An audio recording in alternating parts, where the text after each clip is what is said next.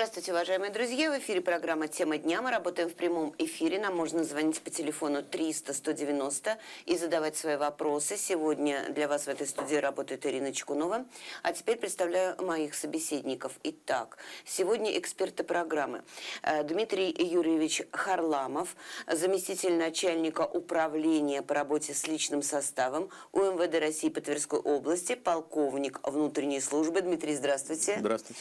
И Никита Алексеевич Матвеев, заместитель начальника следственной части по расследованию организованной преступной деятельности Следственного управления УМВД России по Тверской области, подполковник юстиции. Никита, здравствуйте. Добрый день. Уважаемые друзья, во времена глобальных экономических санкций э, вещь незаменима, хорошая, хорошо оплачиваемая, стабильная работа с гарантированным социальным пакетом. Э, На мой взгляд, э, я думаю, что вы не будете это отрицать, служба в полиции – это именно такая работа, которая дает такие возможности и такие гарантии.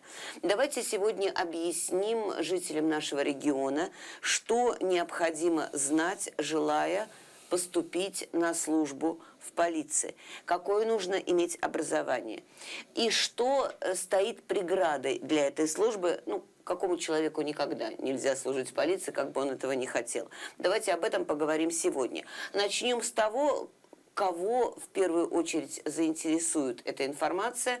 Э, Дмитрий Юрьевич, женщин и мужчин или преимущественно мужчин? Или кто сейчас требуется вообще на службу? Я думаю, эта информация заинтересует как и мужчин, так и женщин.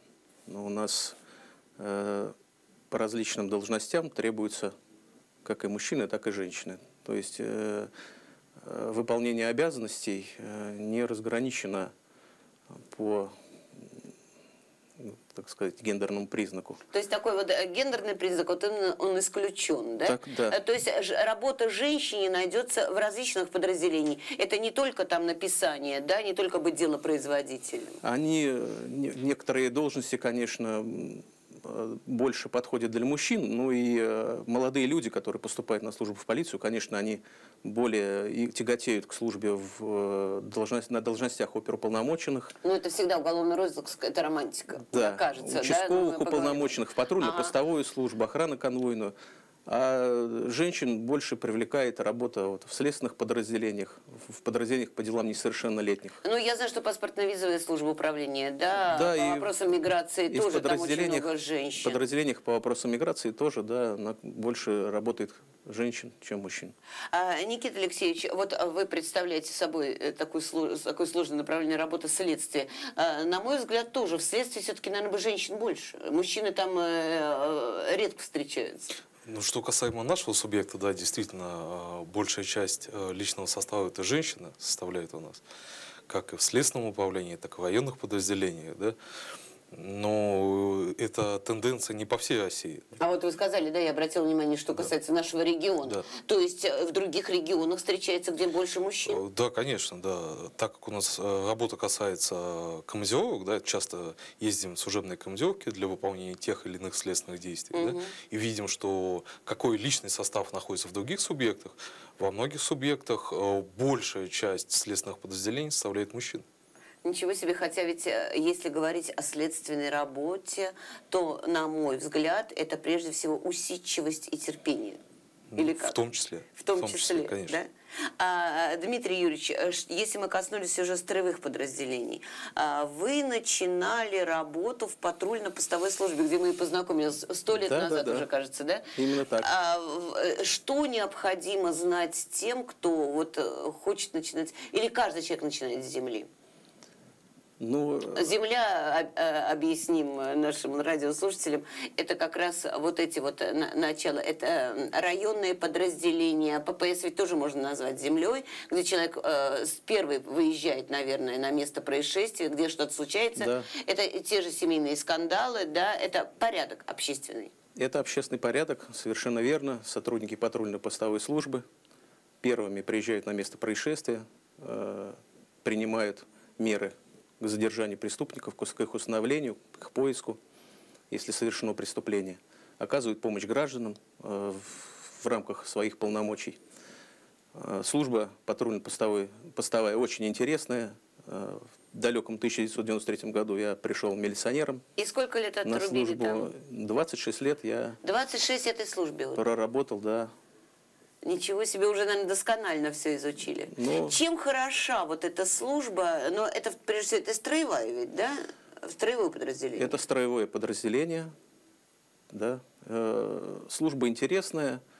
Э, Ну, в, в- в связи с тем, что, конечно, вот сотрудники именно первыми, э, они сталкиваются с тем порождением такому негативного нашего общества, да, приезжают, как я уже сказал, на места происшествия и э, уже принимают непосредственно меры к к раскрытию преступлений. Или, если надо, вызывают подмогу соответствующие Ну, подразделения, да? Если необходима помощь, да, соответственно, докладывают дежурному, да, и дежурный уже принимает э, решение, уже направить туда следственную оперативную группу, да, вот. Никита Алексеевич, а ваша служба с чего начиналась? В милиции тогда еще, да? А, Вот, кстати, Дмитрий Ильич тоже, милиция это было. Да, Да, еще. да.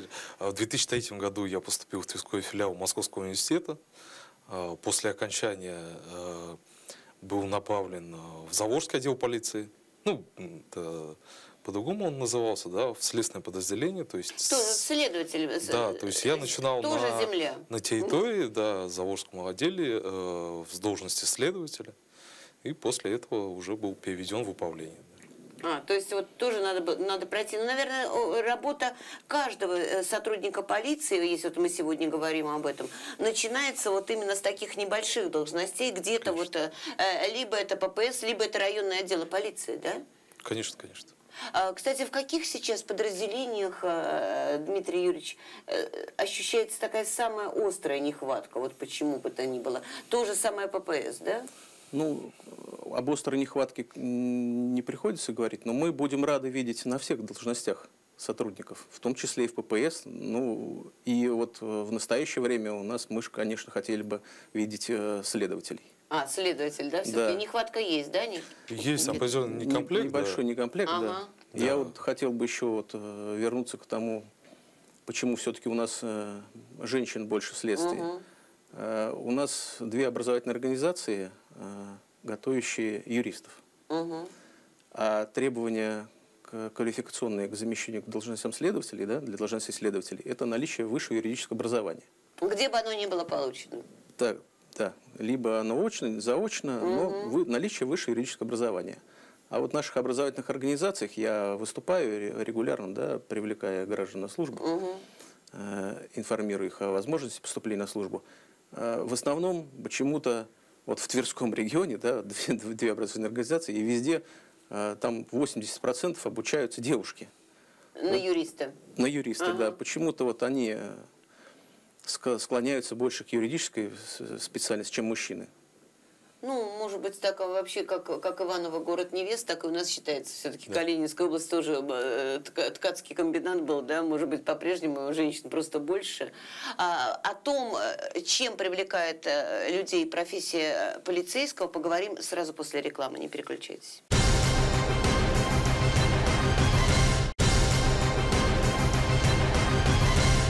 Тема дня в эфире. Сегодня говорим о профессии полицейского. Что нужно для того, чтобы получить эту профессию? Какими, может быть, человеческими качествами и профессиональными нужно обладать? Внимательно слушайте все, кто э, подумывал об этой работе для себя. Вот мы до перерыва говорили с Дмитрием Юрьевичем как раз о том, что на юрфаке больше учатся девчонок, да, и поэтому профессия следователя у нас подразумевает высшее юридическое, поэтому автоматически вследствие идут больше женщин. Хотя тот же Никита Алексеевич сказал, что в других регионах совсем наоборот бывает. Встречается, что эта профессия следователя, она больше для мужчин. Вот как-то так повелось, да, наверное. Да. А Если э, девушка все-таки хочет э, поступить на службу в полицию, но она не имеет юридического образования, но потом у нее есть шанс стать следователем. Это я к, к фильму, допустим, про ту же Марию Сергеевну, пусть это Следственный комитет, но тем не менее профессия следователя воспевалась во многих фильмах, и э, нравится девчонке эта работа. Э, Как тогда быть? Ну, тогда э, такой девушке необходимо найти себе э, должность э, для начала в соответствии с уровнем того образования, которое у него имеется. То есть это может быть 11 классов. Может быть, один из классов для замещения должностей младшего начальственного состава. Это, этого, Этого достаточно. хватит. Этого Мгм. достаточно, да. И в дальнейшем она может поступить на, в образовательную организацию системы МВД. Образовательная организация подготавливает специалист совершенно бесплатно. Э, Получает образование, Работая при этом, да? при этом, За- заочная при этом она обучения. работает, да, форма обучения заочная, э, получает высшее юридическое образование и переходит на службу в ту, на ту должность, которую она, в которой она себя видит в дальнейшем. То есть эта служба э- этим обеспечивает. У нас, кстати, есть выбор среди вузов? Как, как, как- какая-то, может быть, э, характерная особенность того или иного вуза? Ну, э, в соответствии э, с граф- географическим расположением нашего региона, э, нам для поступления в образовательные организации МВД э, предоставляют э, места в образовательных организациях. Это Санкт-Петербургский университет, А, ну это совсем рядом, да. Московский Москва, университет, да. мгм. Ну и еще есть возможность э, обучаться в Воронежском институте МВД, но там немножечко другой профиль образования. Там готовят э, специалистов э, по раскрытию преступлений в сфере IT-технологий. А, ну и то- то- инженеров, сейчас на э, злобу дня называется. Да, все правильно. И э, вот в, в этих направлениях готовить. Но тем не А менее, это, если это востребовано, то наверняка есть желающие поступать туда. Есть желающие. У нас э, мы е- ежегодно выполняем план комплектования. У нас даже он э, два кандидата на одно место. Но это я имею в виду тех э, молодых людей э, девушек, которые приняли, э, изъявили желание поступить в образовательные организации после окончания 11 А, классов. после школы. Да. Вчерашние школьники, Да, да? всё правильно. А, и есть ли возможность обучаться в этих же институтах, получать ту же самую профессию, если ты уже устроился в полицию? Конечно. И, и тоже айтишником хочешь стать? Да, все правильно. И также по количеству приемных мест, которые нам выделяют эти образовательные организации, желающие сотрудники на научной основе да, поступают в эти образовательные организации и обучаются. Но ведь, э, скажем, э, нынешним уже вчерашним школьникам, кто слушает нашу программу, что сейчас да, э, метнуться в сторону вуза полицейского, да, это уже поздновато, да, потому что тоже нужно определенный отбор пройти. Да, к сожалению, естественно, порядок он немножечко для поступления другой, чем в об- в обычную образовательную организацию гражданскую. Все кандидаты проходят медицинское освидетельствование, а это требует определенного времени. Поэтому в этом году, наверное, уже э, не успеть, если только вот, ну, может быть, завтра уже прийти. Бежать, да? Да, бежать, бежать в припрыжку. Мы идем иногда навстречу, если собранные такие и, и родители, и сами кандидаты, они, может быть, быстро, мы все по ним успеем про- провести все мероприятия по их оформлению. А так надо, значит, несколько месяцев себе заложить, да, то есть если человек наметил себе эту службу, то уже, может быть, март-апрель, а то и У нас Февраль? мы приветствуем, чем раньше документы подаются, тем лучше. Э, Оформление начинаем мы кандидатов в январе каждого года. Э, С февраля месяца каждый кандидат уже начинает проходить медицинское свидетельствование. где узнать порядок, куда нести документы, куда бежать? Э, Здесь все очень просто. Э, Нужно обратиться, необходимо обратиться в тот территориальный орган, э, где кандидат проживает. Это типа ну, тот, тот же самый, да, вот э, если проживаешь в Заволжском районе, в Заволжской С- полиция. Нет, с городом немножко посложнее. Здесь у нас э, у МВД России по городу Твери А, непосредственно в, подразделение, в- да. в МВД. непосредственно в подразделение у МВД по городу Твери. Ага. Нужно обратиться в кадровое А по городу Твери это где пролетарский отдел полиции раньше, улица, может быть, кто знает. да, улица У Спартака, дом Мгм. 34А. Ага. Обратиться в кадровое подразделение и там получить всю соответствующую квалифицированную да, помощь. И там все расскажут и покажут, Да. и скажут, куда, куда справки нести, где Да. проходить э, э, то- тоже медицинское обследование, А- да? опре- определиться с э, той специальностью, по которой э, кандидат хочет обучаться, можно на сайтах этих образовательных организаций. Они, А. да, просто через э, сеть интернет Ага. зайти на сайт и ознакомиться и с порядком поступления на э, соответствующую специальность и э, с процедурой оформления. Мгм. Никита Алексеевич, а вас свою бытность, еще когда бытность милиции, что подтолкнуло именно к этой профессии? А вы вот как определились? Или, или бежали сломя голову тоже? Может быть, где-то услышали, что еще осталось три дня? Э, Ну, на тот период, наверное, с именно с профессией, да, я э, не знал, да, просто э, была интересна работа милиционера на тот период времени, да, также через Заволжский отдел полиции, тогда кадровые подразделения находились в территориальных органах, Ага. обратился, мне дали направление, пошел комиссию, сдал вступительный экзамен и поступил уже на, ну, на обучение, на службу. Просто через интерес к профессии. Да, через интерес профессии. А, А есть, выбор э, какой-то да. специальности, это уже выходил в ходе обучения, в ходе э, прохождения практик. э, К чему больше сердце лежит, да, да? к чему, ну, что интересно, что больше заинтересовало. Ага. А у вас есть еще в семье э, кадровые э, сотрудники милиции? нет, Нет? не- То есть вы первый? я первый. Вы, вы первый, да? Кто э, что вообще подтолкнуло интерес? Это вот мы как раз до эфира с Дмитрием Юрьевичем говорили, какие раньше фильмы были замечательные, какие книги были. И что посмотришь фильм, и хочется просто-напросто все бросить и пойти служить в милицию. Вот. У вас что-то такое вот через художественное искусство, через кинематограф интерес возник? Ну, Я думаю, что это все вместе, в том числе э, через художественные какие-то произведения. Э, Та, та среда, наверное, в которой я общался, да, скажем, так вот, то восприятие, э, которое у меня сложилось на тот период. Да, чем поименно я хочу заниматься. Да, скажем, без выбора профессии, но где, где я себя смогу найти и что мне будет интересно. Долгие годы, э, тогда еще в Советском Союзе, да, укреплялось как-то уважение к этой службе, да? Что если ты сотрудник полиции, это действительно ты достоин уважения. И вот образ, что не сказать, что потом было в 90-х годах, да, потом наоборот полилась какая-то одна грязь, одна чернуха и непонятно что. Э, Кстати, Дмитрий Юрьевич, я знаю, что вы своим подчиненным уже потом на службе в ППС рекомендовали конкретный фильм, который заинтересовал вас. Вот вы как начинали. Да, совершенно А правильно. как- что вас привело к этой специальности? Даже, мо- даже, может быть, и как бы и послужил толч- э, толчком к выбору моей профессии именно просмотр вот этого фильма, доброго старого советского фильма «Внимание всем постам».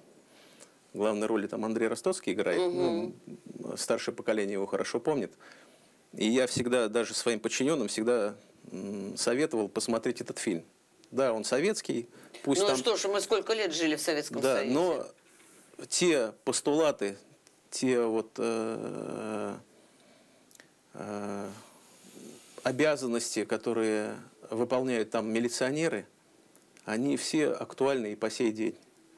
То есть э, отношение к гражданам, э, чувство долга, э, именно добросовестное выполнение обязанностей, все они до сих пор актуальны. И вот э, и в будущем, я думаю, что любой сотрудник, да, в первую очередь, конечно, который из- изъявил желание поступить на службу, в патрульно-постовую именно службу, рекомендую посмотреть этот фильм. Уважаемые друзья, запомните, внимание всем постам. Э, Кстати, э, сотрудник э, полиции, э, некоторые говорят, вот он только вот как образ, да, либо ты куда-то бежишь, либо ты кого-то задерживаешь. Это же прежде всего общение с людьми. Да ведь следствие это тоже, следствие это касается, это не только бумаги. Да? Конечно. Можно, можно подумать, что у вас исключительно кабинетная работа, и э, людей вы не видите. Конечно, это не так. Э, В ходе расследования уголовных дел, да, э, мы проводим следственные действия, в первую очередь допросы э, граждан, лиц, ну, в разных процессуальных статусах. И как прямое общение, да, оно обязательно присутствует, в том числе получение каких-то документов, да, это взаимодействие с другими органами, там, коммерческими, некоммерческими, банками, налоговыми инспекциями. То есть общение, конечно, происходит постоянно. И надо как-то еще человека расположить. Э, Это же не просто так вот вопрос задаешь и ждешь, что он тебе будет отвечать. Да, то есть в роли машиниста у нас следователи не работают. Естественно, каждому человеку нужно подобрать определенные слова, э, дать понять, что э, дать понять, э, какой результат ты хочешь от этого. И главное, Да, чтобы человек еще не боялся. Да, естественно, расположить человека Один, так, один из, чтобы- один из постулатов Глеба Жеглова. Расположи к себе. Да, расположи к себе, потому что как, как человек, это результат вашей работы фактически будет от этого зависеть, да? Да, конечно. А, Кстати, э, Дмитрий Юрьевич, а кому вот даже не стоит, может быть, кто-то мечтает об этом, но стоит препятствие, какие-то препятствия, а кого, кто уже точно будет отсеян при э, наборе на, э, в органы полиции? А, Ну, путь для в органы внутренних дел, да, он закрыт для граждан, которые были привлечены к уголовной ответственности, Мгм. потому что э, закон ограничивает нам, э, не позволяет принимать таких граждан на службу внутренних дел. Э, Также гражд- э, поступающий на службу гражданин должен иметь гражданство Российской Федерации. Гражданин Российской Федерации, Э, не не- судимый. не иметь вида на жительство иного государства, Мгм. Иметь соответствующий уровень образования. У нас минимальный уровень образования – это достаточно 11 классов для поступления в службу внутренних дел. То есть, если ты закончил девятый класс, да, ты уже не можешь ни, ни, ни в какое Да. подразделение. Мгм. Среднее образование. Среднее образование. Ну и возраст, э, конечно, тоже есть ограничения по возрасту. Могут поступить граждане в возрасте от 18 до 40 лет. А, до 40 сейчас, До да? 40, До 40. да. Раньше это было, поменьше верхняя планка. Э, Поменьше, да, но для тех э, должностей, если простым языком рядовых, э, планка 35 лет, а для должностей офицерских э, 40 лет. Мгм. И если э, в семье есть судимые родственники, это учитывается? В каждом случае это индивидуальное принятие решения начальником того А, подразделения, но тем не куда менее, идет. Да. э, Вот почему, вот когда вот мы говорим э, тем же самым э, ребятам, когда вот мы говорим о том, что ты можешь получить, еще будучи школьником, судимость за распространение тех же наркотиков, что это может в дальнейшем повлиять на твою жизнь. У тебя уже будет судимость, да? И если ты не захочешь, то потом ты будешь, э, ты можешь стать препятствием для своих каких-то близких людей, которые не сможет уже устроиться э, на ту, э, на ту же должность в полицию, Это, да? это может стать препятствием, но в каждом индивидуальном случае вопрос рассматривается отдельно. То есть, А что, а что делать с армией? Вот потому что я знаю, что обязательно служба в армии. законодательством у нас не установлен ограничения по прохождению службы по призыву. Но существует э, такое понятие, это отсрочка от прохождения службы по призыву. Она установлена э, федеральным законом о воинской службе и воинской обязанности. Там существует несколько видов отсрочки. Так вот, для сотрудников органов внутренних дел у нас только действует одна такая отсрочка. Это в отношении тех сотрудников, которые окончили образовательные организации системы МВД по очной форме. Мгм. По очной форме. По очной форме. Это те самые вузы, о которых мы говорили Да. э, в начале. Вот они в связи с отсрочкой освобождаются от призыва на военную службу. А, Те граждане, которые не проходили а, военную службу и не имеют отсрочки законной, они, конечно, могут поступить на службу внутренних дел, но эта служба тогда в в этом случае их не, э, Скажем так, полиция не освобождает не, от осв- не освободит от службы в армии. да. Мгм. То есть ты уже можешь служить, допустим, вот в какой-то должности, но приходит, э, Приходит. час, приходит Да, минута, приходит и ты повестка, и ты Да. должен Мгм. будешь отдать труба протрубила. Да, долг. протрубила. Мгм. Ага, понятно. А, Что касается, Никита Алексеевич, вашей непосредственной работы, это все-таки следствие э, в сфере ОПГ.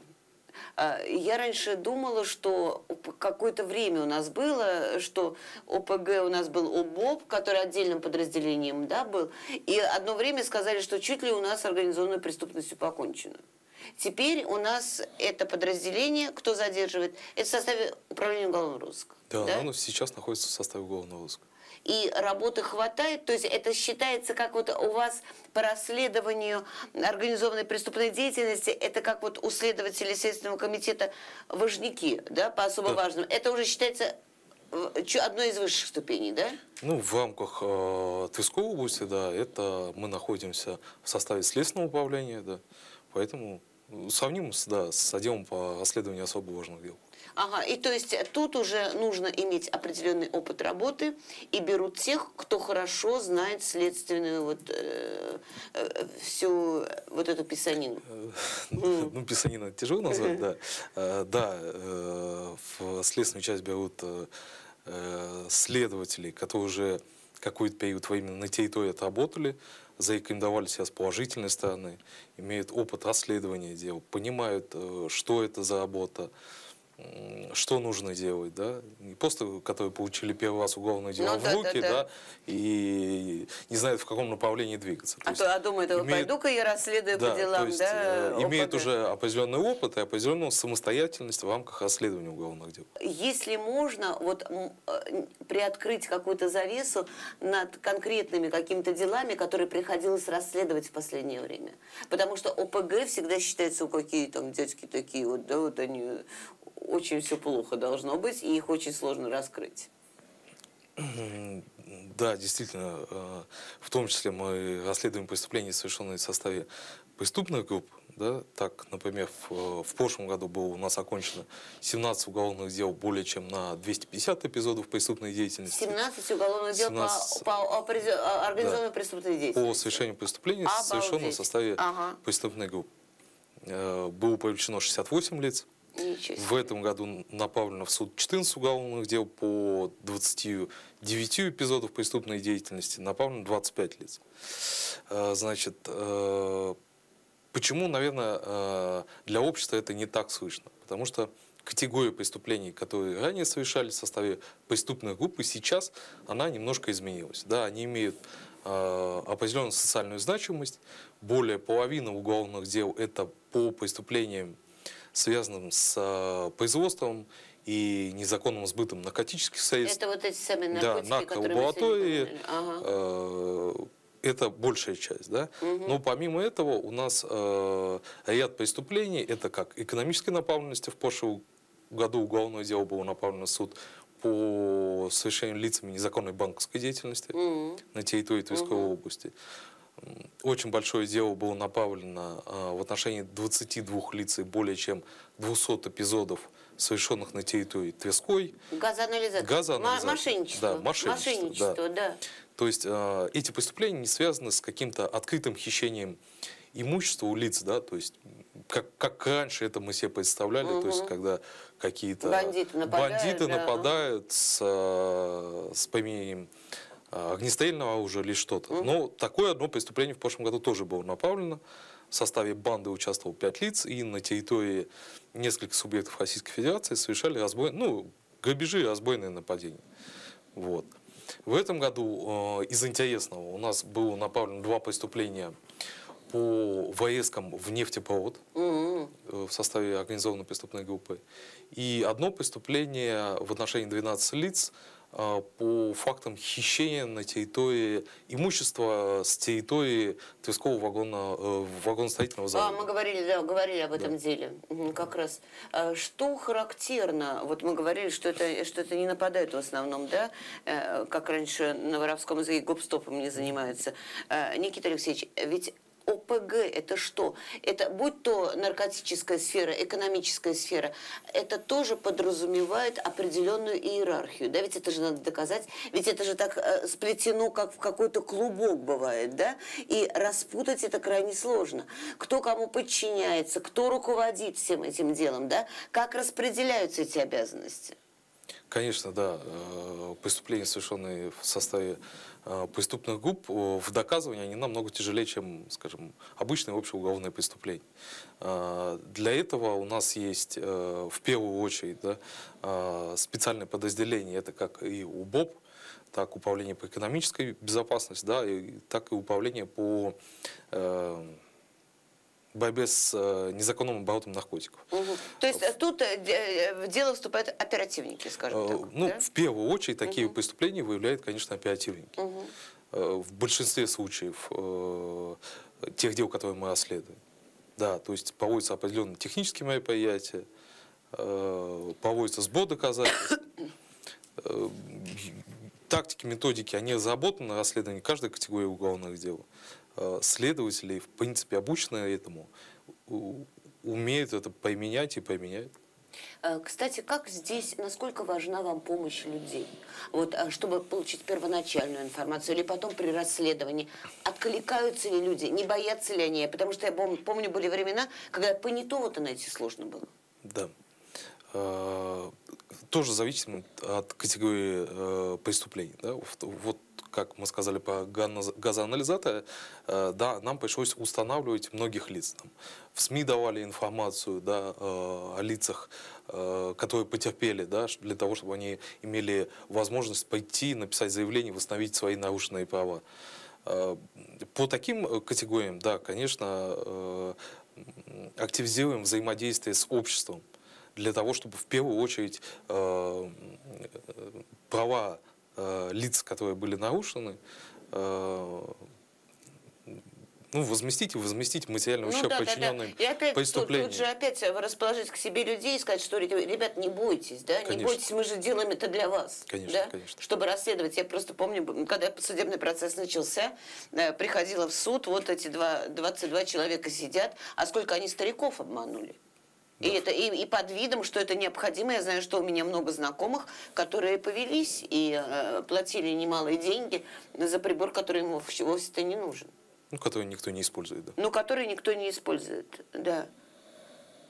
Интересная работа. Кстати, что вы можете сказать, Никита Алексеевич, вот тем, кто вот сейчас послушал, это безумно интересно, но, может быть, у кого-то будет в будущем такая же возможность расследовать такие же интересные дела. В чем прелесть следственной работы?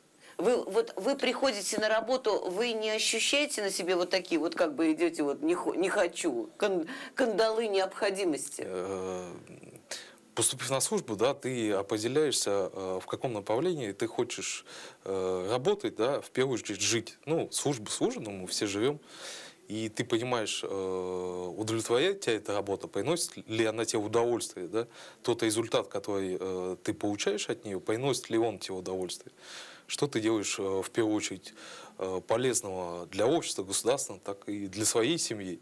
Да? Если людей эта работа удов- удовлетворяет, приносит э, э, м, ну, какие-то позитивные Да, эмоции, да, да, э, понимаешь, что ты приносишь пользу. Естественно, ты на работу будешь ходить с удовольствием и делать ее с удовольствием, несмотря на то, какие задачи ставятся, какие, какая категория уголовных дел у тебя находится в производстве и что ты расследуешь. А победа следователя – это приговор суда? Ну, в первую очередь, конечно, это наказание тех лиц, э, которые это заслуживают. Вспоминая сразу Глеба, Глеба Жеглова, да, вор должен сидеть Да. в тюрьме. Да? Кстати, э, Дмитрий Юрьевич, а когда вы приходите в школу для, э, э, скажем так, назовем это, профориентационной работы, вы тоже, как бы, вот рассказываете, какие примеры приводите, чем увлечь ребят? Да, конечно, мы в школах, когда проводим профориентационную работу, в основном она направлена на привлечение школьников для поступления в образовательные организации системы МВД. Постоянно да, привлекаем с собой для проведения профориентационной работы э, представителей различных служб. В основном это вот как раз следователи, э, участковые полномочные, оперуполномоченные, которые рассказывают о том, как проходит служба в органах внутренних дел, э, примеры какие-то приводят, да, добросовестное выполнение сотрудников служебных обязанностей. И иногда приглашаем, э, даже очень часто приглашаем выпускников тех же образовательных организаций, которые только в этом году... вы- Молодые еще, да? да, молодые. глаз И они, горит? да, они также рассказывают, что вот пять лет назад поступили на, в образовательную организацию, отучились, и теперь уже проходят службу на тех должностях, по которым они получили специальность. Потому что раньше, я помню, вот даже у меня э, родственники были, которые, ну, это ни для кого не секрет, во времена Советского Союза были даже, служ- ходили служить попадали в милицию тогда по комсомольской путевке, тогда такое было, да? Теперь уже, к сожалению, комсомола нету, и по, по такому пути ты туда не пройдешь, но тем не менее, я знаю, что и правительство Тверского региона э, поддерживает тех же будущих следователей, да? Да, правительство Тверской области очень большую поддержку оказывает э, сотрудникам органов внутренних дел э, Тверской области. В частности, э, у нас В д- в 2020 году губернатором Тверской области Игорем Михайловичем Рудани принято решение о э, об установлении ежемесячной социальной выплаты сотрудникам патрульно-постовой службы и участковых уполномоченных в размере 10 тысяч рублей. Это плюс к зарплате. Плюс к зарплате, совершенно верно. Это по нашему региону. Да, это, ну, каждый регион, наверное, по-своему решает, как У нас, э, поддерживать. я думаю, что не во всех регионах. всех, Очень да? много нам Мгм. звонят, э, просят поделиться опытом. А, Да, э, берут нашу область как пример. И вот с этого года у нас, у нас с 2020 года пяти территориальным органам из 17 была установлена надбавка вот этим сотрудникам указанных подразделений. А с этого года уже всем 17 территориальным органам, сотрудникам, проходящим службу в патрульно-постовой службе и участковых полномоченных должностях, э, осуществляется доплата. В этом году э, губернатор Тверской области принял решение о э, поддержке молодых специалистов, которые э, избрали свой путь. э, Это прохождение службы дел. Это тех э, касается молодых специалистов, которые э, пожелают поступить на службу на должность исследователя. следователи. Именно следователи, имеющие, э, окончившие образовательные организации, не система МВД, Ну, И- тот же, ну, тот же самый юрфак, да, допустим, да, у ю- нас? да. Ага. и желающие поступить на должность следователей. Таким э, кандидатам при заключении контракта на службу внутренних дел выплачивается 1 миллион рублей. Ничего себе. Вот свою бытность, да, Никита Алексеевич, если бы вам, да, кто миллион рублей выплатил, да? Вы, ну, ну, хотя вы вышли за идеи, но это бы не помешало. Безусловно, да. Это большое подспорье, тем более для молодых специалистов. Тем более, что если, э, если человек поедет в какой-то из районов, вот мы сейчас говорим, мы находимся в Твери, в областной столице, да, но такая работа, работа следователя необходима и в каждом районе Тверской области, в глубинке, что называется, да. Там же нужно тоже иметь какое-то жилье, начинать с чего-то строить семью. Безусловно. Это тоже важно. Э, Что касаемо работы работой, но хватает ли время для занятий любимым делом? Я знаю, что сотрудник полиции должен быть всегда в форме. Если э, у меня есть любимый вид спорта, могу ли я, будет ли у меня время им заняться? Да, безусловно. У нас э, много сотрудников отдают себя еще не только службе, но и любимым занятиям, в том числе и спортивным. Э, Очень много у нас сотрудников, имеющих звание мастеров спорта. Э, Ну и э, стремиться к этому многие сотрудники, потому что за званием мастер спорта предусмотрена еще и соответствующая надбавка. А, еще надбавка денежном тоже удовольствии, есть. да. Мгм. Поэтому тот, кто желает, и имеет, у, так- у того возможность, естественно, есть. Мы не, не работаем от заката до рассвета, так чтобы не было у нас возможности еще и любимым делом заняться. Э, Никита Алексеевич, э, если говорить о службе в полиции, что бы вы порекомендовали нынешним выпускникам или тем, кто думает э, поступать на службу? Вот для вас лично какие, возможно, пять основных причин, что это здорово, что это хорошо и что это фактически не только интересно для, для жизни, не только душе что-то дает, но и материально это обустроено? Да, это стабильная работа со стабильной заработной платой, э, э, с социальными гарантиями, с защищенностью вне зависимости от складывающейся экономической, политической обстановки. да. Государство обеспечивает э, сотрудников органов внутренних дел. Это ежегодно оплачиваемый отпуск. Ну, много плюсов в рамках стабильности и понимания, что будет у тебя в завтрашнем дне. Вы ни разу не пожалели, да, что когда-то пришли тогда, давно-давно, работать в милицию? Ну, может быть, пожалел, но Вы- ну, вы- вы- бывают бу- всякие быва- случаи, бывают конечно. разные состояния, да, но э, действительно это достойная работа, которая того заслуживает. Мгм. Э, Дмитрий Юрьевич, ваши пожелания, ваши пять основных «за», или, может быть, шесть, или, может быть, семь, Ну, я- что нужно выбирать службу в полиции? Ну, во-первых, э, хочу сказать, что эта служба полиции очень интересная. Это не э, унылые серые будни, это череда смены к- калейдоск- кал- калейдоскопическое событий, да? То есть день на день не похож? Нет, ну, конечно, наверное, как да. и следствие, да? Так Это по- от дела на дело не похоже. Поэтому это позволяет, да, вот как-то с интересом относиться к профессии. Ну, второй немаловажный фактор, это, э, учитывая, да, что у нас и недавно был повышен пенсионный возраст, сотрудники органов дел, они э, э, имеют право по выслуге 20 лет уйти уже на пенсию. Ну, это немаловажно, Конечно, конечно. немаловажно в наше время. А, Ну, что еще немаловажно должно привлечь граждан, это возможность получения бесплатного высшего образования. Еще, конечно, что может привлечь на службу, это, э, вот как уже коллега мой сказал, наличие э, вот этих вот социальных льгот, гарантий, компенсаций. Ну, на мой взгляд, немаловажно то, что у нас э, сотрудник, если он находится на от- от- отстранен от исполнения служебных обязанностей с временной нетрудоспособностью, да, находится на больничном, либо он на сессии получает образование, ему денежное довольствие выплачивается в полном объеме. То есть он здесь не в финансовом плане никак не ущемлен. Да, и интерес мы, про интерес мы сказали, но в сущности мы заканчиваем программу тем, с чего начали, да? Хорошо оплачиваемая, стабильная, э, с гарантированным социальным пакетом работы, да? Да. А то, что тяжело, конечно, тяжело, уважаемые друзья. А где сейчас легко? Да, я вам хочу сказать, что нигде не просто.